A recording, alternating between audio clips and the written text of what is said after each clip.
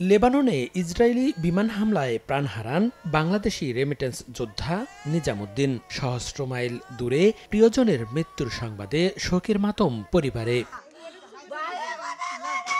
দু হাজার বারো সালে ভাগ্য ফেরাতে অবৈধ পথে লেবাননে যাওয়া নিজামুদ্দিন সেখানে নির্মাণ শ্রমিকের কাজ করতেন। এক যুগ পর আগামী মাসে দেশে ফেরার কথা ছিল নিজামের। শনিবার রাতে তার মৃত্যুর খবরে গ্রামের বাড়িতে নেমে আসে শোকের ছায়া। ইসরায়েলের এমন বর্বর হামলার নিন্দা জানিয়ে নিজামের মরদেহ ফিরিয়ে আনার দাবি স্বজন ও এলাকাবাসীর। সরকারকে জানাচ্ছি যাতে লাশটা আমাদের কাছে পৌঁছে দেয়। ওনার মামা মারা গেছে বোনও মারা গেছে শুধু এক ভাই আর দুই বোন আছে বাড়িতে। আমরা বিচার চাই হামলাটা কেন দিল আমার ভাইয়ের?